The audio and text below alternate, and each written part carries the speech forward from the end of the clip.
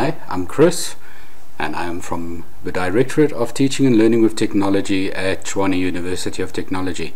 In this video I'm going to show you how to quickly and easily turn your slideshows into a video that you can distribute to your students.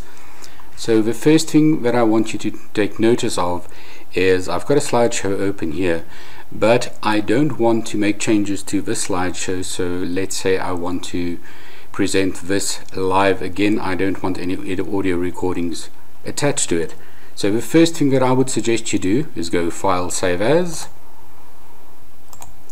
and you save a PowerPoint slideshow with another name. Instead of training I'm going to call this training AUD just for audio and save.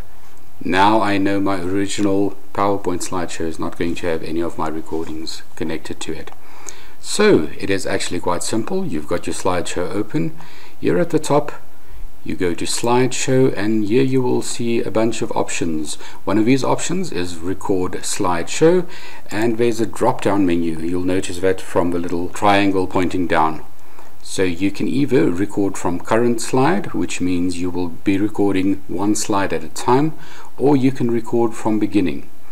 So we're going to record from beginning. You hit that button and this will start the recording screen of your slideshow. Now over here at the top you've got record, stop and replay. You've also got a bunch of other settings that you can have a look at and annotations. Make sure that your microphone is turned on. You can also turn on your webcam if you've got one, which will record your face. And here you can switch on the webcam's preview. Just give you a demonstration and we are not going to use the camera so we're going to turn that off. We're only going to use audio for this recording.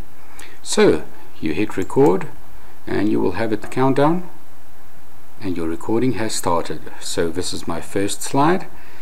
Go to the next slide and as you go through your slides you will notice that everything is timed. One tip that I do want to give you is try and keep quiet between your slides you can also do annotations by using some of your tools here. Let's advance into the slide and you can make annotations here in different colors.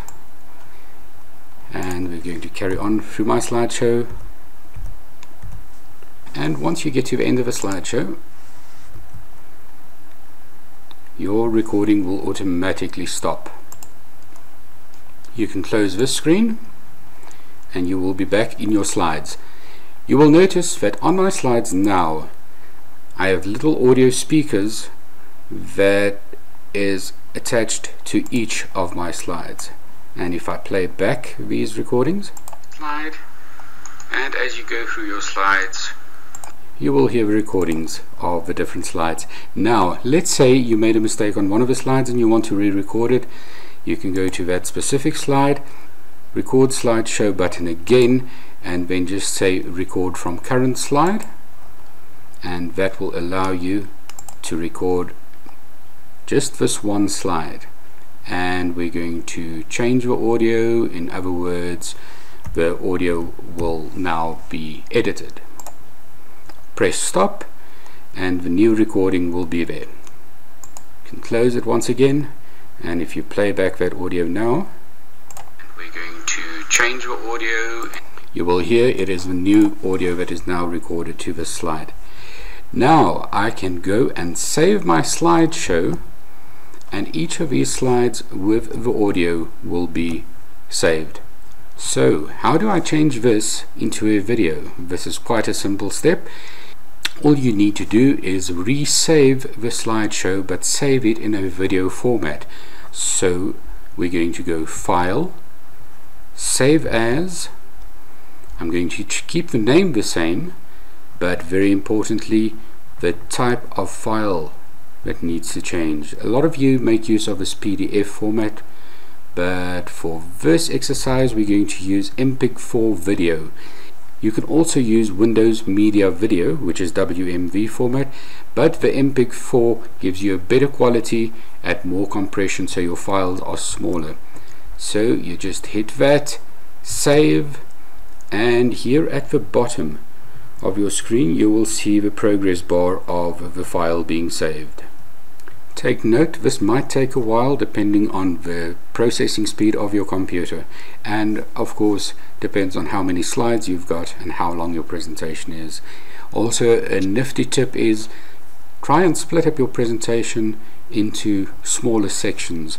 This way it's easier for the students to watch, it's easier for you to produce and revision work becomes a lot easier if a student has a question they can go back to an exact video, short video to get their answer. Okay, once that is done, you can close PowerPoint. You will now notice that the file that I saved as an MPEG-4, training audio MPEG-4, MPEG-4 video, Started. so this is my first slide. Good slide. And as you go through your slides, all my slides are there and it is a video. This video is now ready to be uploaded onto the internet. If you have any questions, remember you can contact me at any point in time. Send me an email. I've got email on my phone and I will try and get back to you as soon as possible. Hope this helps.